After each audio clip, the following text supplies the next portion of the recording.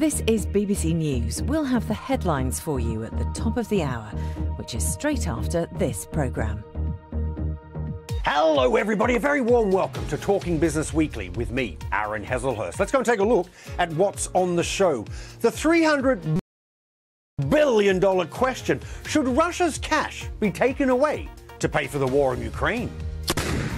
With the fighting into its third year, can the West finally land the financial blow on President Putin and finally stop him from affording the war? I'm going to be discussing that with these two. There they are an Eastern European economist who thinks selling the assets might mean less money for Ukraine in the long run. And Estonia's foreign minister tells me taxpayers they shouldn't have to foot the bill for the aggression of his next door neighbour, Russia. Plus, what about the damage inside Ukraine? One of President Zelensky's top economic advisors tells me about the struggle to keep financing the fighting and why getting millions of Ukrainians back from abroad will be crucial for the country's future.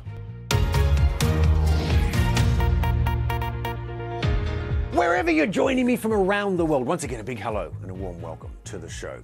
You know, Russia's invasion of Ukraine is now into its third year, costing tens of thousands of lives and billions of dollars. Its huge impact, it's been felt in economies all around the world. It's had consequences for global trade, energy, and food prices, but most of all, in Ukraine itself. So, can the assets the West has frozen and which belong to Moscow be used to pay for the damage and Kyiv's ability to fight back?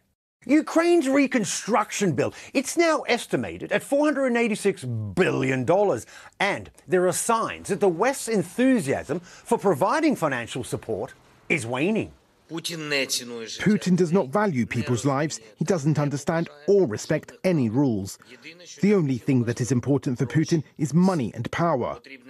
We need a strong decision that would confiscate Russia's frozen assets, and we need further full scale sanctions pressure on Russia in order to constrain Putin's capabilities to finance this war. And it's an idea that seems to be gaining traction, even though it's not without its risks. But there's growing legal support for the idea that there is a way of using these resources.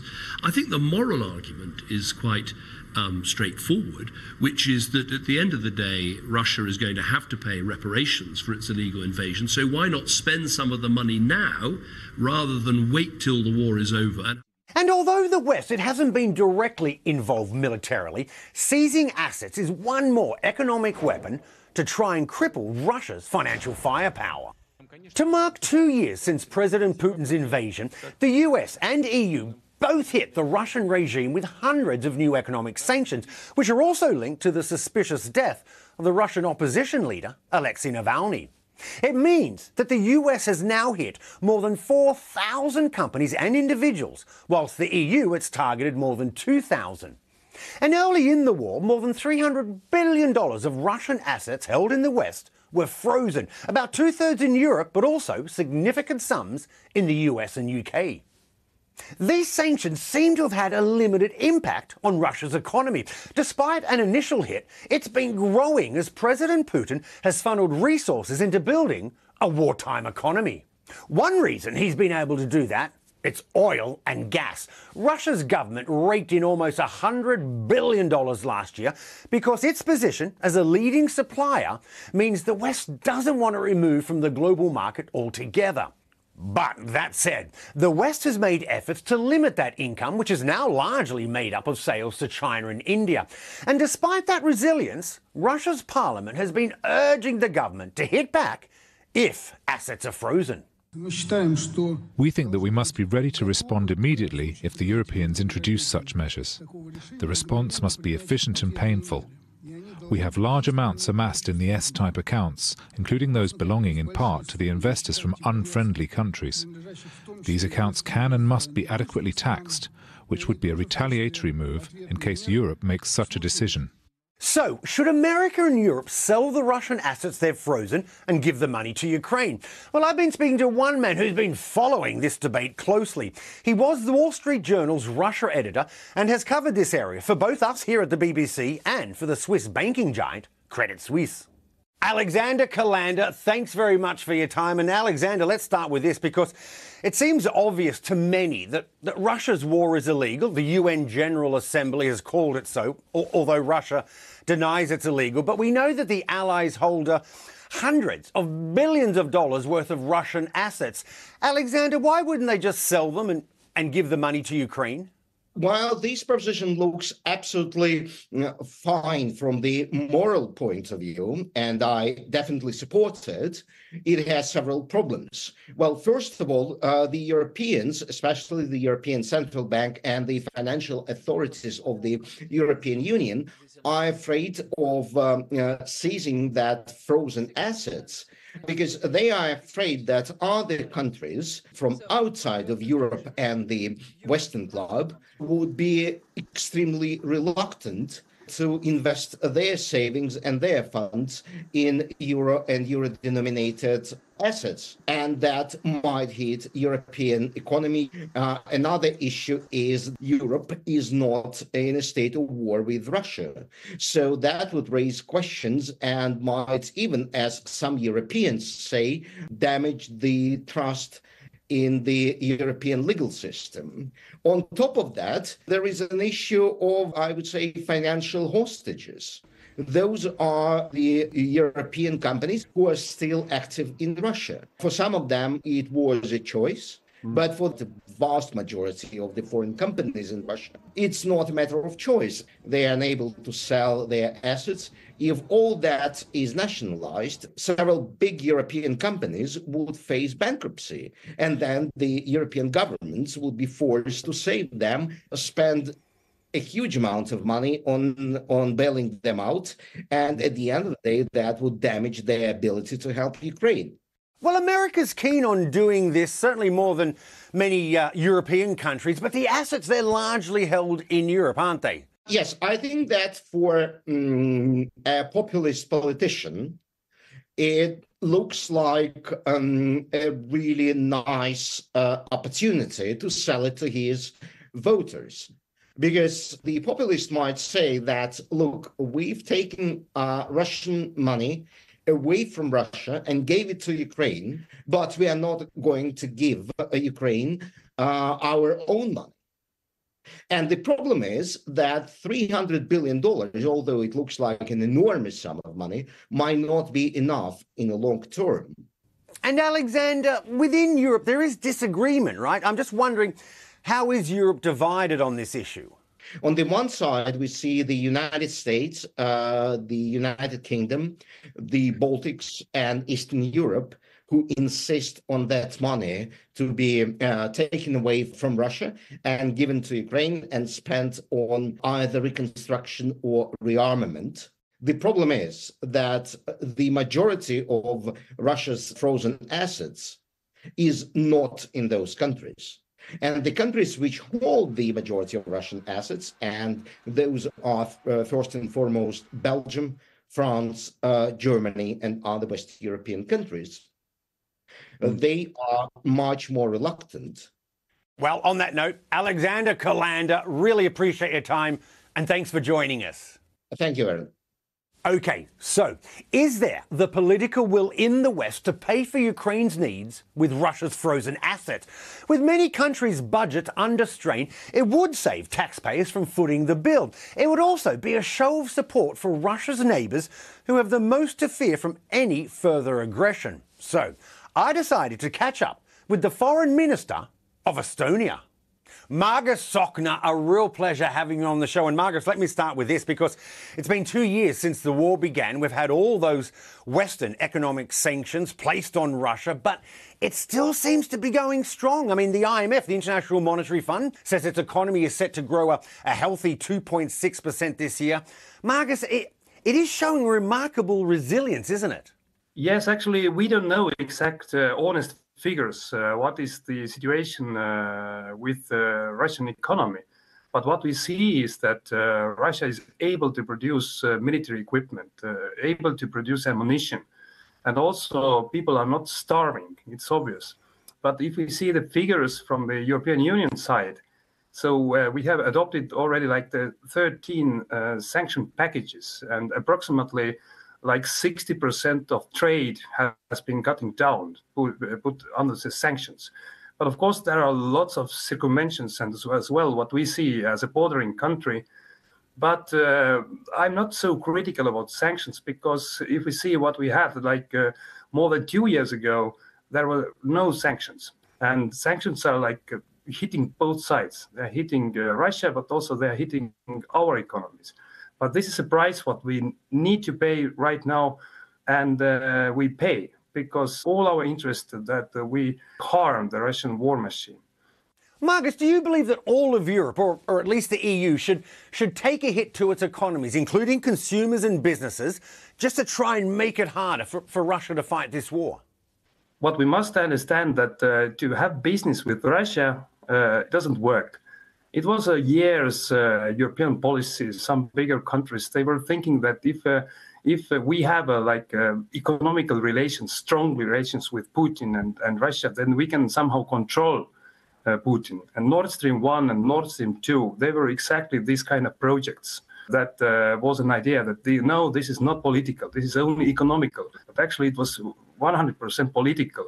Everything economical from Russia is political as well. And I don't say that we must take the hit, but we just need to organize, reorganize our economies, not to be so much dependent on uh, Russian economy. Maybe that is a price what we pay now, but it, it, it doesn't work for long run because Russia will remain a threat.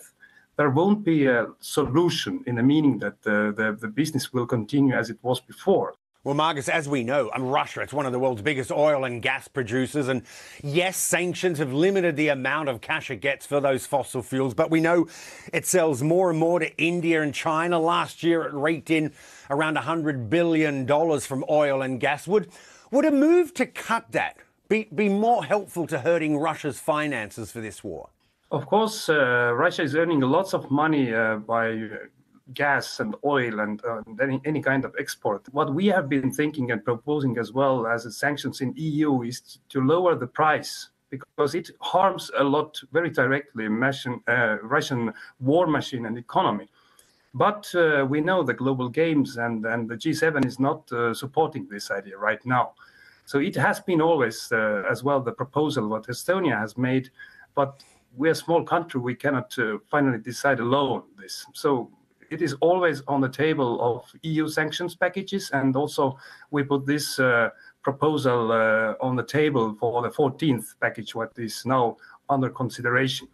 Well, just on the Russian oil, I mean, there is that Western imposed price cap of 60 bucks a barrel, but what would you like to, to see it come down to? Actually, we have adopted in European Union last year uh, the, the process or the algorithm that uh, what the oil price uh, must be.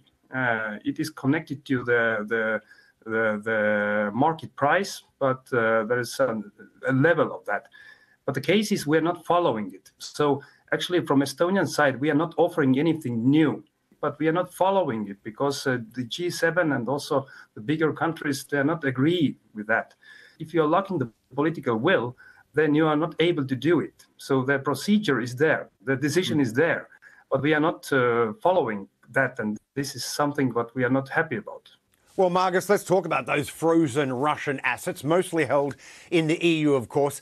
Do you think Europe needs to be more aggressive in selling them to give the money to Ukraine? And I'm kind of wondering, Margus, why, why big powers like France and Germany seem to be reluctant to doing that we have taken this uh, leading position uh, as Estonia to talk about it and to find a way out that we can uh, we can use them and we need it. And there are like the three reasons why we push it heavily. One, of course, is to give money to Ukraine, recovery process, and support Ukraine. The second is actually to give very straightforward uh, message to uh, Putin and, and oligarchs in Russia that actually we can take the assets, we can use them, and aggressor must pay. And the third is much more like cynical in the meaning that we have elections coming uh, all over the world, and uh, taxpayers and voters they are asking uh, the rightful question that how long we have to pay. Why doesn't Russia pay for the damages and also the recovery process? And that's why I see as well that we have been pushing this frozen assets question already a year And I think that within the last like couple of months, there has been more political interest about what we are doing and how we are doing it. And the first sign, and it was a big move actually on EU level when 27 countries decided that uh, actually we're going to use the profits of the frozen assets. Uh, this is a big money as well, but this is something that we achieved. Mm. But now we are pushing heavily uh, domestically in Estonian parliament the draft law. How can we use the frozen assets? And if we show the way that there is an opportunity Uh, uh, following the laws that we can use it, can use frozen assets, uh, then there won't be a, any juridical excuse, only political will. And Margus, let me end on this because if sanctions and other financial weapons don't starve President Putin of the resolve and the resources to stop fighting in Ukraine, I'm wondering how concerned are you that he could then turn to, well, your country and, and other neighbors next? We know already years that uh, Putin is a threat, Russia is a threat. And we saw it in Georgia, we saw it in Ukraine 2014, repeatedly now. Uh, and also, uh, the vocabulary has been very heavy from the Putin side. Maybe he will have a NATO test. I don't know in what scale. Uh, we don't see these military capabilities right now, but of course, Russia has a plans to increase them, to reestablish them. Now they're tied in Ukraine. And that's a, the main message as well from my side is that for us, it's the gives and most efficient way to support Ukrainians now with weapons, with ammunition, because they are fighting instead of us. If there will be a military invasion, so we have 200 kilometers depths, strategic depths, we will win the war, but we will pay as a country, as a nation, very high price for that. So I would like to uh, say everybody who are who are, who are living in Europe and who are members of NATO that now it's a time to support Ukraine and now it's a time to invest your our independent uh, defense capabilities. So I hope that uh, there is some uh, some some um, rationality left uh, to Putin not to even think about uh, to attacking NATO country. Well, on that point, Margus Tsahkna, Estonia's foreign minister, a real pleasure having you on the show. Good luck with everything, and we'll check in with you soon. Thank you very much for this opportunity.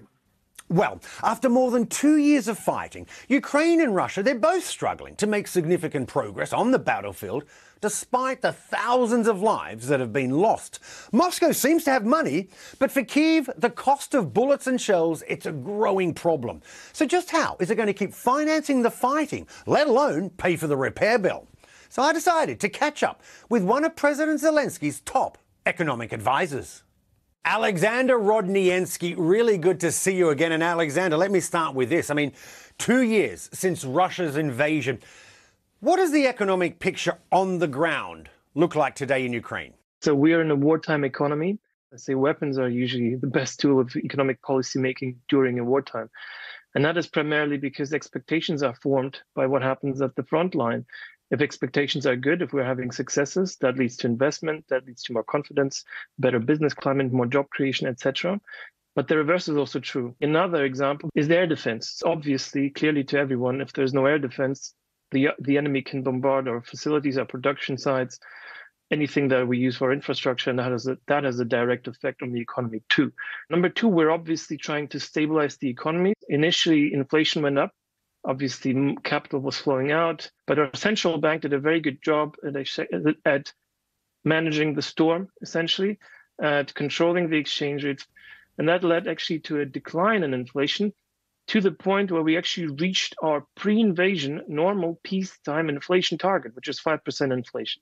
Alexandra, I want to ask you is Ukraine turning factories from one use into another? I mean, such as fridges to, to weapons? Absolutely. That is happening to large extent. And in fact, one we have a ministry now that's directly responsible for strategic developments, in particular responsible for driving our military industrial complex for making sure we can produce and increase the production of drones first and foremost. Uh, artillery munitions obviously that's a shortage that we have as everybody knows etc etc etc so everything that we can try and produce ourselves we need a lot of complicated production facilities which takes time to build but of course, we're trying to diversify away from the reliance on our Western partners, given what we see right now. Well, Alexander, two years into the war, I'm wondering how difficult is it to raise the money Ukraine continues to urgently need to, to fight the Russians? Absolutely. It's very difficult, as you can see. So right now, the main stumbling block is has to do with what's happening in the US in Congress and the $60 billion that we're hoping to receive. The lion's share of that would be actually for military support. And again, that has a direct effect on the economy. Unfortunately, there's a lot more political stumbling blocks in our way now, which we perhaps didn't anticipate, but that we have to cope with.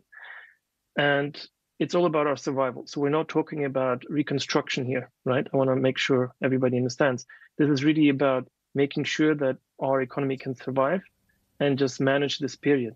But I will say also that we've had some success with the EU more recently, where the 50 billion euro package was approved and passed, and we are trying to make adjustments, adapt to the economic changing environment. Part of that is increasing our facilities, our production, our military industrial complex, supporting it in terms of making sure we have the internal resources to produce ammunition, for example, if we need it. Another part of that is obviously just financial, purely financial. That means if we were not going to get certain amounts of funding, there's options on the table like increasing taxes, maybe reducing some of the spending in various areas, which is very painful, of course, because we've already cut down on a lot. We are in a wartime economy. It's not an easy time to do these sorts of things. And Alexander, on the show this week, we've also been talking about that some $300 billion of Russian assets held in Europe. And I'm assuming there's no doubt President Zelensky would love for those assets to, to be passed on to help fight the war. But I've got to ask you, why do you think some European nations are just so reluctant to sell them and hand the cash over to you?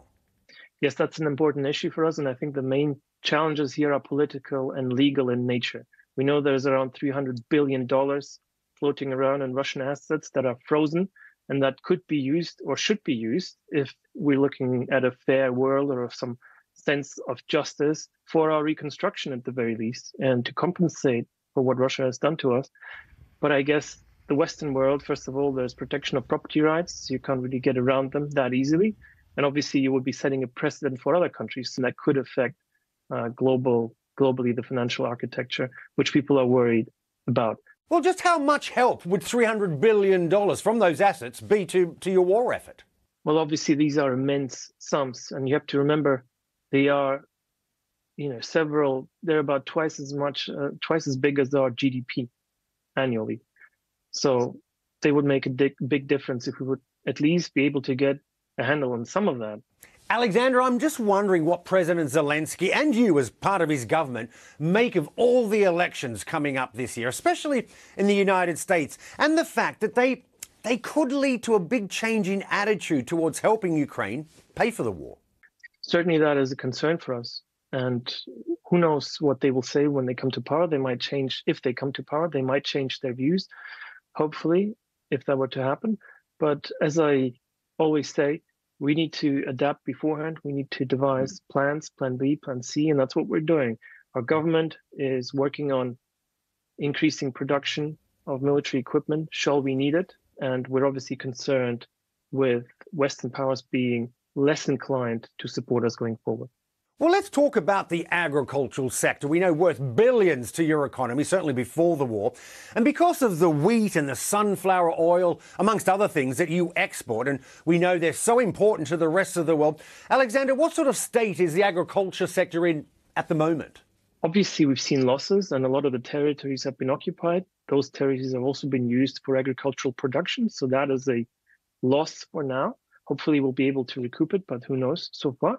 But we've seen some good developments. And again, they have to do with the military side primarily, which is that we were able to unlock the blockade that Russia has in, imposed on us. Now, long story short, if you look at the numbers, in January 2024, we've had around 7.3 million tons of food commodities being exported. 60% of that, I think, went through the sea. So, in other words, we're back to pre war, pre invasion levels when it comes to sea trade, almost, and grain exports from there. And Alexander, let me end on this because one thing that all economies need to function is people. But correct me if I'm wrong with these numbers, but something like 4.9 million Ukrainians are displaced within the country. Another 5.9 million have fled to other parts of Europe. Is that the biggest problem, Alexander, when it comes to rebuilding? I mean, how do you get them all back? You're absolutely right that fundamentally this is a huge shock to the labor market. A lot of our workers are gone, a lot of our production and production capacity is affected through that. How will we get these people back? Well, again, it's fundamentally that we have a resolution to the war victoriously for us. Ultimately, we also need to make sure that Ukraine is not just peaceful, but also prosperous and attractive for these people.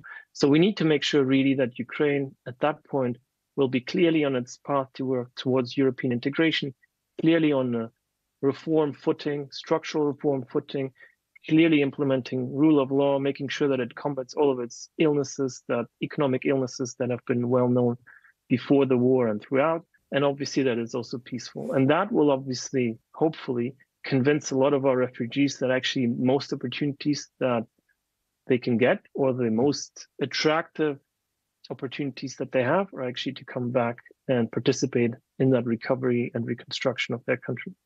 Well, on that point, Alexander Rodnyansky, economic advisor to Ukraine's President Zelensky. A real pleasure, as always, having you on the show. Best of luck with everything, and we'll we'll talk to you soon. Thank you very much, Aaron. Well, that's it for this week's show. I hope you enjoyed it. Don't forget, you can keep up with the latest on the global economy on the BBC News website and the smartphone app. Of course, you can also follow me on X. X me. I'll X you back. You can get me at BBC Aaron. Thanks for watching. I'll see you soon. Bye bye.